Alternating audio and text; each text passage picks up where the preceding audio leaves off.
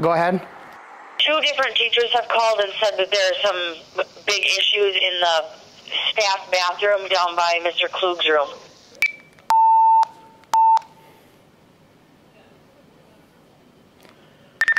All right, I will be right there. So there, you get to go check on a bathroom. Every every day it seems like it's the same same process, the same bathrooms, the same problems.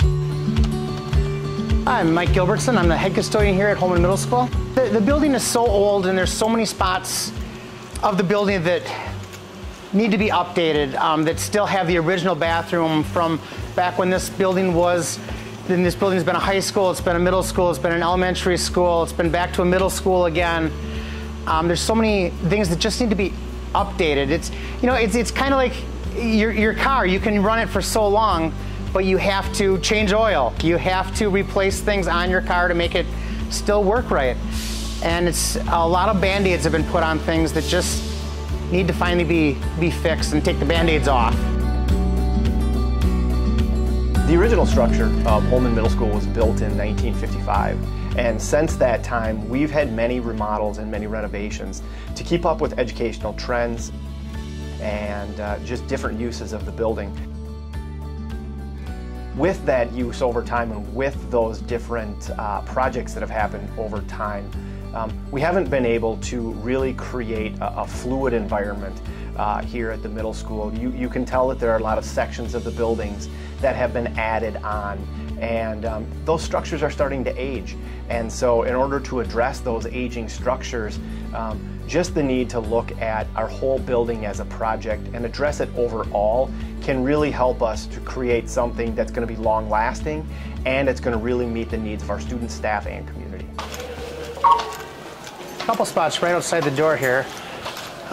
The ceiling tiles all around this, all around this gym get replaced a couple times a week. Uh, during the summer, it's quite often more because we don't have any kids, but it's, uh, it's, a, it's a big process. You're always changing the same ceiling tiles every time it rains.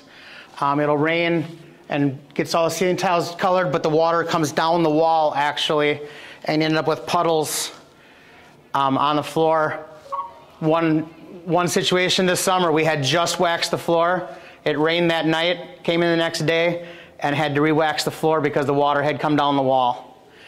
Um, but yeah, we switch these tiles out constantly. As custodians, we do take a lot of pride in the building. Um, it, it, makes it hard because you see the things that are wrong and haven't been replaced in so long that need to be fixed.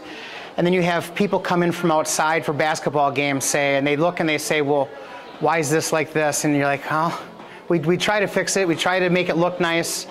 Um, but it's just after a while, you just can't replace the same thing constantly. But as custodians here at school, I mean, we make, we take great pride in making the school safe, making it look nice. Um, so we do. We just keep replacing things and keep putting band-aids on things to make it work.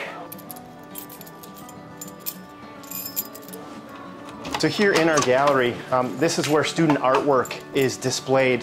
A lot of work that, that takes a long time to be put up and something that we're constantly having to think about is how can we display this in a way that we can make sure that it doesn't get destroyed.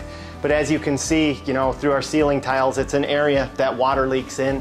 You can see up, up here into the, the roof area where, where that, that is, you know, something that's continually needing maintenance and our ceiling tiles and, and you can actually even see on the floor where you know the, where the water has been and it has, stained the floor from that from that continual moisture issue. Up here in the seventh grade area have some of the oldest lockers in the building. yeah, they just don't, we can't use it with the kids because they can't pull it to get it open. And then when to shut it, they have to slam it to get it to shut. And then it ends up, if we do use it, it ends up breaking a lock or getting it jammed again so we can't even, then we have to come back up and pry it back open again. So This used to be a supply closet.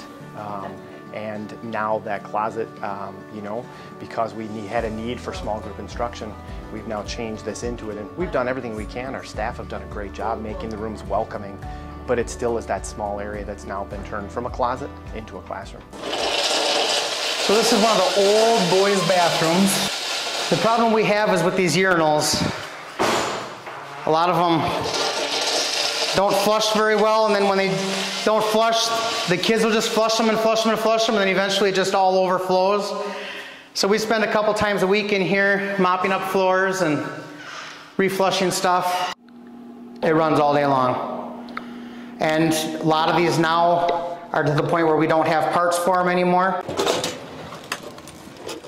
So another area that we look at here at the middle school um, that's something that could just use more of a long-term fix is, again, it comes to the, the, watershed off of the building, but it also comes to just the outside building envelope. Um, much of the area down in, in this sixth grade area, you can see where, you know, that, that outside of the building is really falling apart and, and it needs more of a long-term fix. And, and also just working on that moisture control for moisture in and out of the building. And, and you can see kind of along the bottom of the building as well uh, where, where being able to bring that in and grade that out can really help with the moisture and the water away from the building. And then you can see also inside just in some of our areas um, you know, as, as you look at our floors, you can tell that, that over time the building has just aged and you know, we have rugs and we have things that cover it, and our custodial staff does a great job of keeping up with it. But that moisture in there, and, and you can see the tiles coming off the floor from, from the continual moisture problems that are happening.